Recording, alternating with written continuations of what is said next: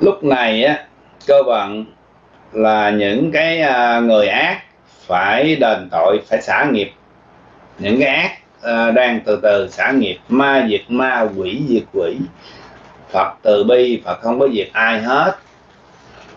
Thì à, quý vị chờ xem. Không còn bao lâu nữa hai tháng. Đảng cộng hòa mở lên rồi á. Chú uh, chú chú tập của bển không biết núp ở đâu á nghe. Chú tập với vô tình không biết núp ở đâu á. Mà nhờ chú bay Biden yếu hèn cho nên mới lòi ra phải không? Mới là mới nhông nhử mồi nha để cho nga đánh. Rồi uh, trong cộng á, mới thấy uh, ông Biden yếu yếu hèn á yếu nhược. Thì bắt đầu mới mới lấn lướt. Chứ còn uh, lực quốc tế nào đánh đó bồi thường chiến tranh. Lúc mà ông Trump ông mạnh quá mấy thằng kia nó đâu dám hóa hé nó y như ngoài đời của mình vậy đó. À người có võ giả bộ hiền hiền quá không đụng vô thử biết. Mỹ nó không muốn quýnh tạo quýnh 30 giây là xong. Ba đồ giấy ba đâu có đánh lại ai đâu. Quân của mỹ một thằng lính của mỹ nó có thể hạ được mấy chục thằng bình thường á, tại tao huấn luyện dữ lắm. Lý Dinh Tuấn nói, mong anh Kiệt Đức thầy về xây chùa như Thiên Long Sơn nhà mở phòng thuốc khám chữa bệnh cho người nghèo để cứu nhân độ cái gì đó Phật? Đức thầy mà xuất hiện thì cần gì phòng thuốc? Ngài à, đưa chai nước uống là tự nhiên hết. Mình bệnh là gì? Mình bệnh đa số á, là do dông linh. Dông linh nó vô cơ thể mình Nó làm mình nhức mỏi rồi làm mình ung thư này bệnh nọ. Mà khi hiện giờ á khi cái thế giới đang tẩy trần tẩy tẩy bên cõi âm luôn và bên cõi dương người dương là là ai đó? Những cái ác những cái uh, tham sân si những cái gọi là không công bằng. Còn bên tẩy trần là bên cõi âm á là không còn trượt nữa. Thì lúc đó con người của mình những cái thế hệ sau á, sống ít cái bệnh như thời nay. Mình bệnh đa số là do do do ma nó nghe quý vị nó theo nó nó trả quả mình nó, nó nhập vô cơ thể mình làm cục đây cho nên quý vị nhiều thấy nhiều lúc á có những người á, tại sao có ông kia hai mặt? Cái mặt ở sau lưng mặt đây có những người có cái mặt đây rồi những người ung thư. Mấy cái ung thư là mấy cái bệnh của những cái nghiệp của mình á. Mà dông nó theo nó nó trả thù á. Mà nếu mà bên sau này sau thời Phật Di Lạc xuất hiện thì cả mặt vô hình cũng đang sàng lọc à, hữu hình mình cũng đang sàng lọc hai thứ một lượt.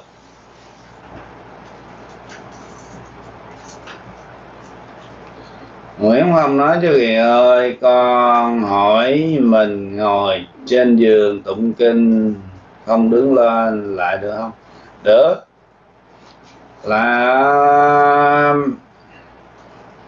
được nhưng mà nó không có phải lại nhưng mà thí dụ lâu lâu á, mình cứ ngồi trên giường mình đọc, mình không có vô phòng phật được thì mình bệnh thì mình ngồi trên giường đọc. Chú cũng lấy cái điện thoại, chú ờ, đi ờ, đi du lịch á, lên khách sạn cũng ngồi trên giường lấy điện thoại đọc kinh thôi chứ làm gì giờ. Trong khách sạn cũng đâu có bàn thờ gì đâu mà con lại. Thì trên điện thoại của mình là nó có cái cuốn kinh đúng không? Chú cũng ngồi trên giường, chú đọc ở khách sạn hoài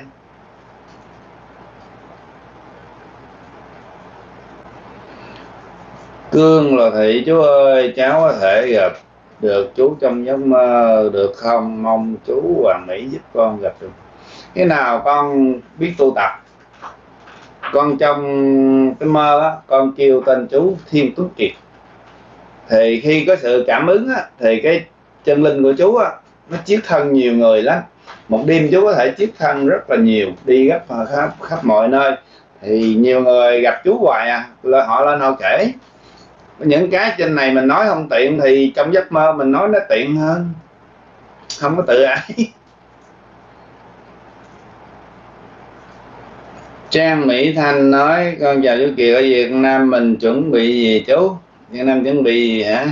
Tiền khách thành tiền giấy thì con chuẩn bị đổi đô với đổi vàng. Hay là ai bán đất rẻ thì con giữ đất. Ở nhà thì dĩ nhiên là phải có gạo, thóc, thuốc đồ đầy đủ. Vậy thôi thế giờ miên nó cũng chuẩn bị nó đánh mình á mà nó là phải nó ghen đánh mình.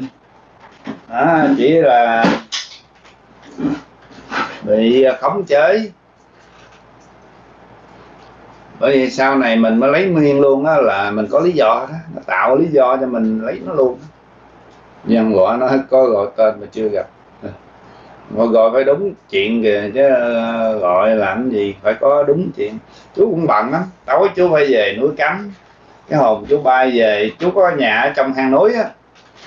Có cái uh, có cái dinh trong đó nè về đó.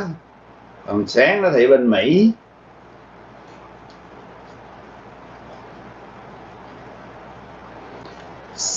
Si nói ông rắn then cẩm hoàng chết rồi phải không chú Kiệt? Bữa con thấy có clip đăng.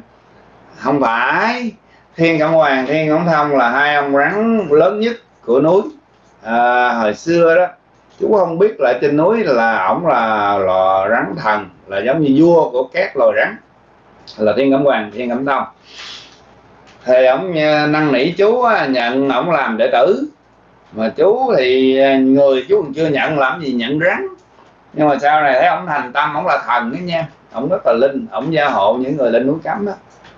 Không có ổng là người lên núi cấm bị mấy con rắn nhỏ cắn chết cũng nhiều á nhờ ổng á.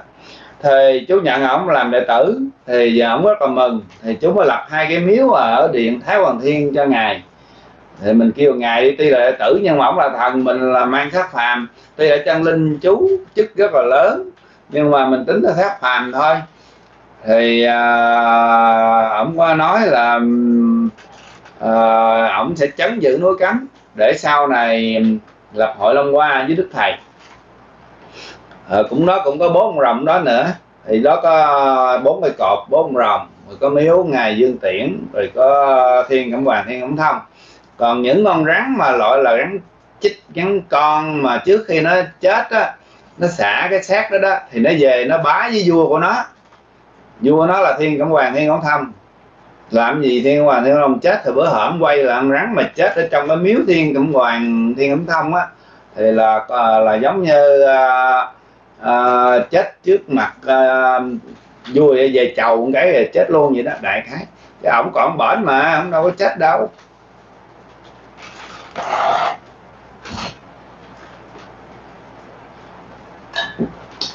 Mà hang rắn khổng lồ hôm nay thành thần.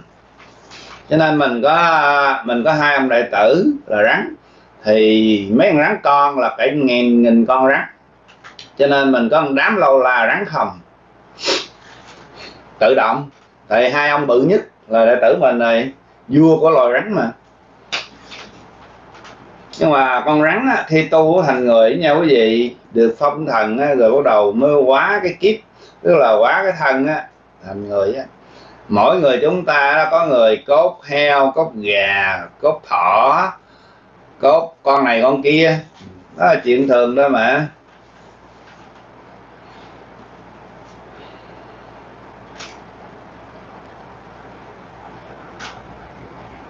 Chính thì Trinh nói Thiên Long Sơn mở cửa là chưa chú. Thật sự Thiên Long Sơn chưa có được mở cửa chính thức Nhưng là giới hạn trong gia đình hay là những người volunteer. Cho nên uh, nhiều người ở xa thấy hình chú ngồi gốc cây nói chuyện á thì họ đến thăm. Nhưng mà mình chưa có mở chính thức lớn như kiểu cho người Mỹ hay những người ngoại quốc nó vô. Còn trong gia đình ở trên đó chú mua cả triệu đô tiền cây để trồng rồi những cái chánh điện có bông, hoa phải tươi. Ở trên đó rất là nhiều ờ, đền thờ. Thì phải có ít nhất cũng có 50 người, trăm người lên để mà lo cho mấy cái tượng không có bị đóng bụi với trái cây rồi phải tươi. Một ngày em bông, hoa bông, hoa gì ta đủ loại hết. Để lên ngày mà trời nắng kiểu này là héo, ngày mai là mấy người phải lên chỉnh thai đó cho nên cái à, nhóm mà mà lo cho thiên long sơn rất là đông. Cách sửa mở ngu cơ nói, nào xảy ra chiến tranh thứ ba, chừng nào xảy ra chiến tranh thứ ba hả chú? Vậy phải không? Chờ không đầy vài trăng mình tính trăng thôi. Thật sự thiên cơ là chú lộ, là chú à, là à, tám chín chục trăm nhưng mà hai chục trăm chú thường nói là do cha với chư Phật nhưng mà đa số những gì chú nói là chúng bữa giờ 95 phần trăm hết này, hầu như chúng hết này.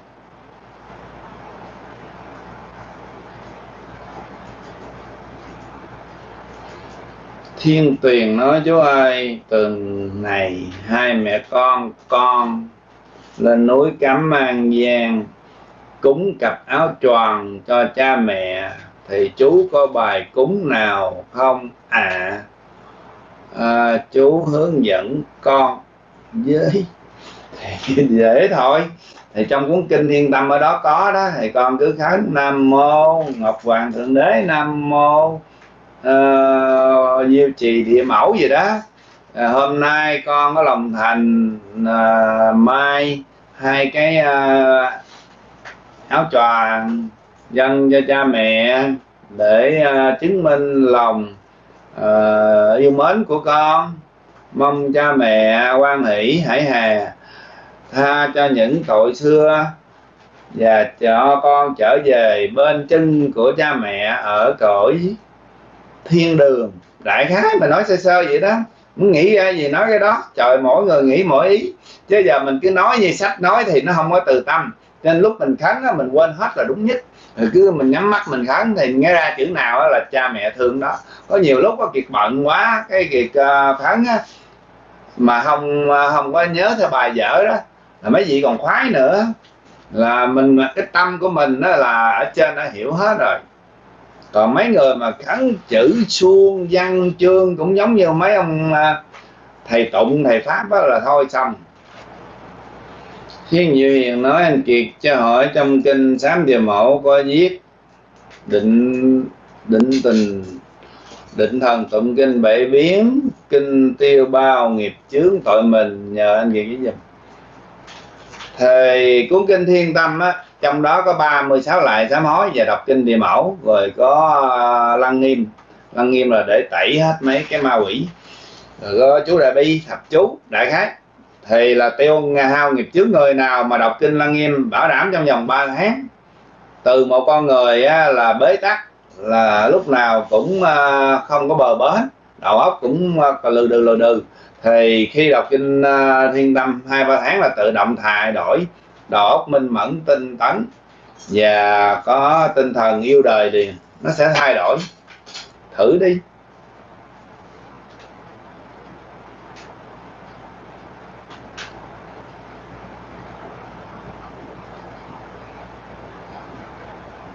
Helen Phạm nói chú ơi chào chú chúc chú sức khỏe bà rồng lửa bị tạm giam tích nữa rồi.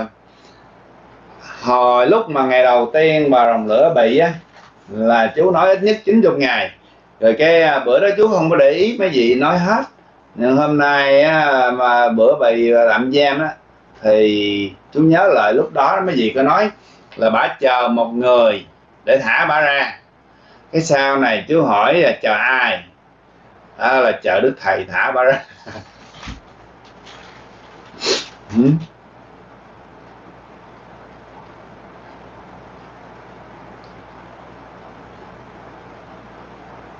hello cơ hơi cao, chờ đức thầy thả vào lòng lửa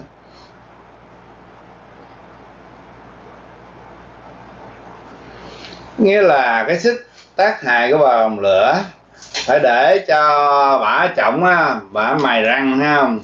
Rồi luyện lửa rồi cho giữ lên phải không? Bả ra một cái á, là tròn á sẽ thành tròn quay phải không? Khỏi cái làm tròn thành à, tròn quay liền. Rồi á, mấy người nào ca sĩ rồi đó. Cho nên đụng với những người có tiền á người ta rất là có cái thế lực cao này nọ. Chú thường khuyên á khi mà người ta ngã ngựa rồi thì đừng có đi uh, làm tới nữa dĩ hòa chi quý. Chú lúc nào cũng mong mọi người vui vẻ. À, chú không có thích những cái chuyện bất công. Người khởi đầu của người ta làm từ thiện mà khi một người bị như vậy rồi các ngàn người giàu là người ta sẽ không bao giờ đi làm từ thiện nữa. Thì ai chết vậy? Mấy người giàu đâu có chết đâu. Chỉ có người nghèo mới mới bị nạn thôi.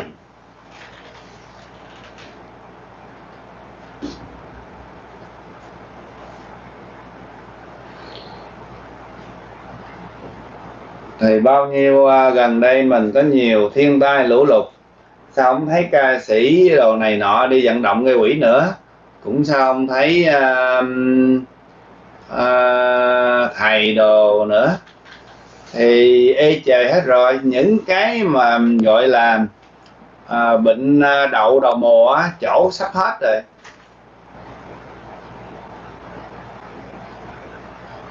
Phú Nguyễn hỏi chào chú Kiệt con không rõ là Phật với Lạc Minh Dương và Đức Thầy là xuất hiện ba người hay là một người vậy chú? Cái này thì chờ Đức Thầy sẽ giải thích nhưng theo cái góc độ của chú chú chỉ là người truyền tin ở trên chỉ cho nhóm nhóm cái tin. Thì hướng đó à, sẽ có chiến tranh vậy. Nga sẽ thua, ông trump trở lại. Mình sẽ có nạn à, đói. Rồi miên đánh mình, trung cộng đánh mình, hoàng sa, trường sa mình à, phải lấy ra, gậy lấy cuốc ra. Mình đuổi mang dịch về, tại vì trung cộng sẽ chia năm, sẽ bảy.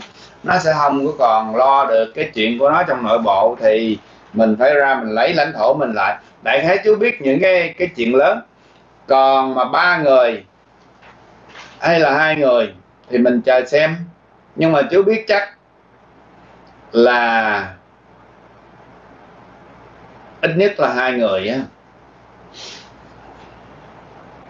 Theo góc độ của chú nha.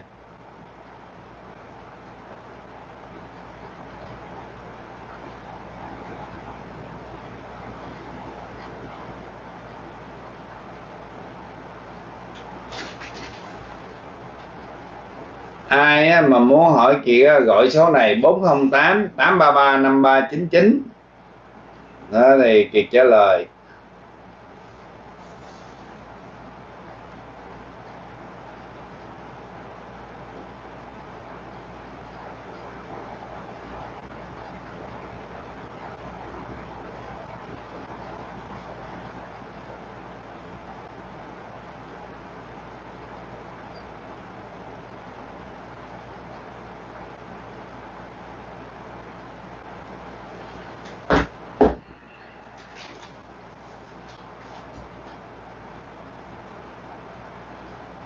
Máy đang bị uh, lộn xộn chút nha quý vị.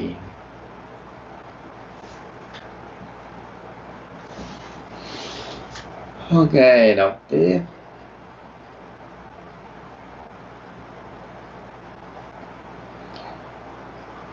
Có người nói minh dương là vua một nước phật dương là giáo chủ giảng đạo pháp. Cũng phải chờ đức thầy giải thích. Mình chỉ biết đánh bài năm cây một cây lật ngửa là chú là người đặc biệt. Chứ mình cũng không dám xưng hô uh, thiên tử gì hết nhưng mà mình uh, có cái sứ mệnh mình có bố ông rồng. Còn mấy cây bài kia thì phải chờ xem. Cái này bắt điện thoại của này ở bên Sweden. Không biết ai đây ta. Hello. Hello. Dạ em là Kiệt. Chú Kiệt hả? Dạ dạ dạ ui chú Kiệt. Ai? Xin lỗi ai đầu dây à dạ thưa chú Kiệt. Đây là tăng đây đây là thiên anh đào ở ờ, ở thụy điển ở thụy điển chú Kiệt. Dạ dạ chào chị. À, chị khỏe Ôi, không? có tưởng ngày mà ngày mà hạnh phúc nhất trong đời của của của của con tôi là 81 tuổi nhưng mà phải xin với chú Kiệt bằng con. No no chị 61 em có năm mấy à? Chị là chị em đi. Ôi chú Kiệt Ừ. chú Kiệt tại em già là tự vì em lo quá nhiều chuyện em mau già. Em có à, em có năm mấy là chị sáu mấy là chị em được rồi. Chú Kiệt biết sao chú Kiệt? Sao chị? Mà ờ, ờ, thì tôi xin chị xin chị có ngại quá chú Kiệt chú Kiệt. Cứ chị đi đâu sao đâu. Ừ. Dạ chị thử ờ, xin chị ha. Dạ dạ. Chị theo dõi chú Kiệt từ đợi run quá. Dạ theo dõi chú Kiệt từ đầu đến đuôi luôn coi hoài coi hoài những cái clip của chú Kiệt. Mong mong mong giống như là mong mỏi. Có một cái em nhắc chị nha em đang ở trên livestream chị nói gì á là cả thế giới nghe đó. Dạ không có hỏi chú Kiệt chị gửi lời nhắn thẳng nói nhắn vui chú Kiệt rất rất rất rất rất dạ. Dạ. Xin chú Kiệt là con của của Đức Cha Ngọc Hoàng Thượng Đế với Đức Mẹ Phật Mẫu Diệu Trì. Chú Kiệt ơi dạ. ông xã của chị này chú Kiệt nói chuyện chút đi chú Kiệt. Dạ Hey, alo, dạ dạ chào anh anh khỏe không? Kiệt nha. dạ. Khỏe. dạ. Trời nói chuyện với Kiệt là cả một sự hạnh diện của dân dân. đâu có đâu à, muốn gọi em lúc nào cũng được số này em bắt cho. Nhưng mà em rảnh em mới bắt. Ừ, em bạn em không có bắt. À ha. Dạ. Cũng có cũng có gọi chứ nhưng mà không có gặp nữa bữa thì, nay à, cũng hên lắm. À, tôi tên là Thiên Tâm Thiện. Thiên tâm thiện hả? Tên hay quá chắc là anh hiền khô cho nên vừa có tâm mà vừa thiện nữa. À, thì à, có họ thiên thì à, mình à, thấy à, mình à, thắng được phân nửa rồi là được nửa đường về trời rồi. Dạ. Dạ dạ hy vọng là như vậy. Anh có gì hỏi em không? Hiện giờ cho nên thôi. à, thì à, thật sự ra cũng có nhiều câu hỏi lắm nhưng mà gặp cái là cũng à, vui quá cũng không biết hỏi cái gì. Ở anh đang ở nước nào vậy? Ra, thật Anh đang ở đâu ạ? không cần lắm đâu. Anh đang ở đâu à? Tại á, những cái những cái clip của của Kiệt là tụi tôi cũng thấy hết rồi cũng nghe nhiều lắm rồi. Nhưng mà anh đang ở nước nào vậy? Anh đang ở tiểu bang nè. Ở Thụy Điển ở Thụy Điển ở bên thụy điển ha bệnh bây giờ mấy giờ rồi? Bây giờ là sáng 7 giờ 7 giờ 5 phút. Ờ thụy điển hả? À, thụy điển uh, trời bên âu châu luôn ha. Ủa bây Quá giờ nghe bây giờ nói nói ở trên nói trên mạng cũng được rồi đó. Thấy. chú kiệt rồi nữa nè thấy chú kiệt nè trả lời đó. Nè điện thoại à trả lời. Cái số của chị À. số Ờ. điện thoại nào ok rồi chị em có hỏi hỏi để em em đọc mấy comment của người ta nha. Ờ, Có- đợi chút chú kiệt rồi rồi ơi rồi. chút Ờ, dạ để dạ. dạ rất rất là thương mến chú kiệt chú kiệt ơi em cũng thương mến hết tất cả mọi người. À, mặc Dạ. dày lên đây nhận lệnh của cha mẹ truyền tin để mà về chót à, ai về để mà về gặp lại cha mẹ trên trời chứ mình lưu lạc với hồng trần lâu quá rồi hôm nay là em về xuống em lùa về hết. Để mà về đó ai về để mà về gặp lại cha mẹ chúng ta. Dạ chú kiệt ơi cho chỉ chỉ cho gia đình của chú kiệt ơi cho gia đình của chúng tôi trân trọng trân trọng mà kính chào chú kiệt nha. Thương thương chú kiệt nhiều lắm. Bye bye chú kiệt. Dạ bye bye chị cảm ơn chị gọi em. Dạ dạ dạ rồi Rồi. ok, đọc comment tiếp.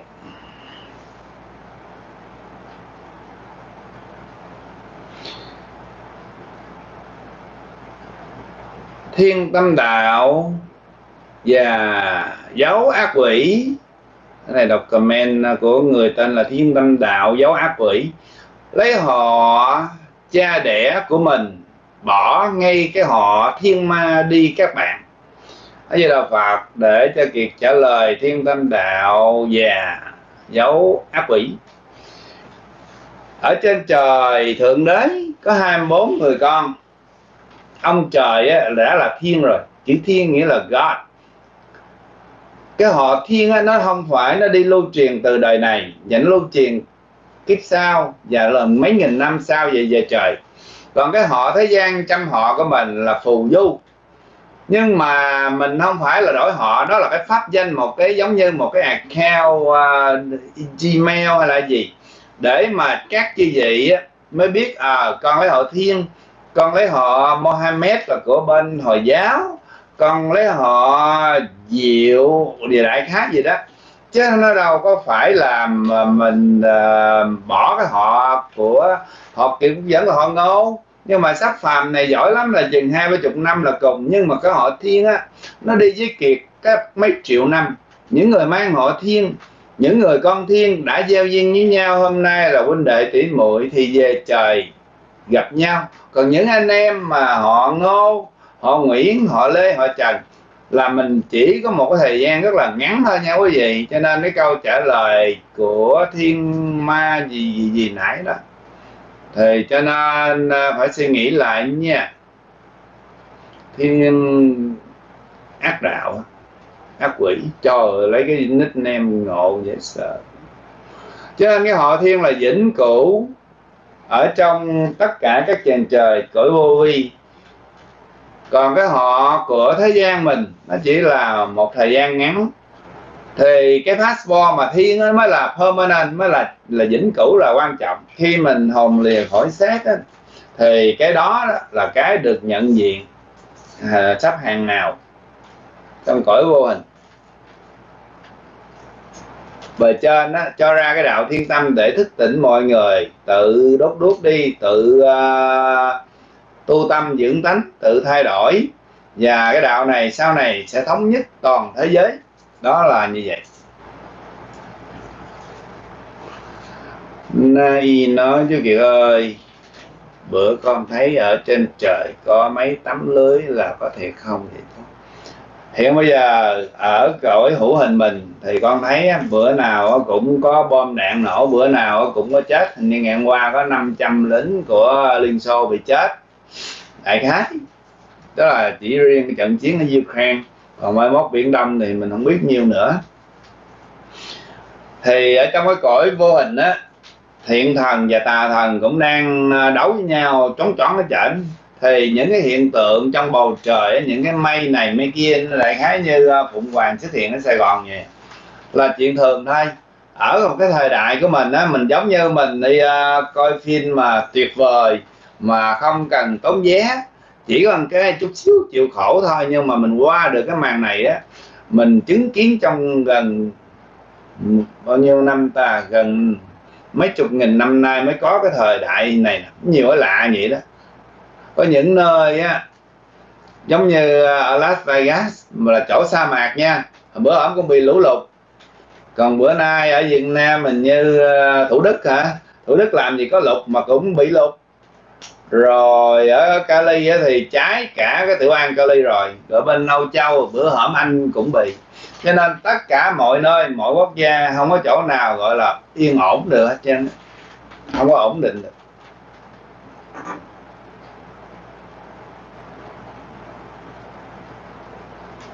Nghe Nguyễn Thị Quyền nói, những người không thích nghe chú Kiệt nói xin mời đi chỗ khác chơi đừng vô hay xỉa xói hay dụ khị người khác. Chẳng ai thèm nghe đâu. Con cứ để tự nhiên. Tại vì à, à, chú cũng cần phải học hỏi của những người này và phải khai trí cho họ. Một chúng sanh vô minh mà đi xuống địa ngục cũng là lỗi của tại chú. Làm nhiệm vụ không có hết khả năng không có đúng. Cha cũng không có vui mẹ cũng không có vui. Vì quỷ cũng là con của thượng đế nha những người xấu. Chẳng qua họ bị uh, tiền tài vật chất che mắt hết. Thì chú cũng cần phải học của họ và để cho họ chửi. Những người nào mà chửi chú nhiều những người đó đó sau này quay đầu cũng lẹ lắm. Chửi đi.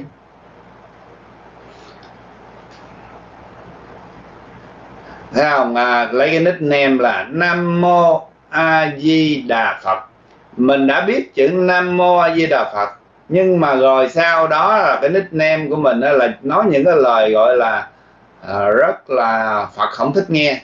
Vậy mình lấy cái nickname nó làm gì? Nhiêu đó thôi là mấy con phải có chánh kiến phải coi. Chứ ma quỷ nó không bao giờ nó lấy cái nickname. Tôi là ma quỷ nó toàn lấy nickname tên của chú hay là uh, uh, bần cư sĩ là mấy cái tên hiền hiền không à. Cho nên mình cứ lấy cái nickname thật, cái tên của mình. Ví dụ như Ngô Tuấn Kiệt thì chú lấy cái kênh vẫn là Ngô Tuấn Kiệt official. Thì cái đó mình mới gọi là chịu chơi, phải không? Bi chí dũng. Còn cái cứ mình lấy nickname a di đà phật, rồi bằng cư sĩ hay là mấy cái đó, để mà chi? Xong đại nó lấy cái tên là tôi là sân si hay là tôi tham tiền đi. Nếu mình chịu chơi vậy á, thì mình ấy cũng giống như chú không bao giờ ghét nha, hay là bất mãn, không có. Chú chỉ tính theo người người nào tốt, người nào xấu thôi.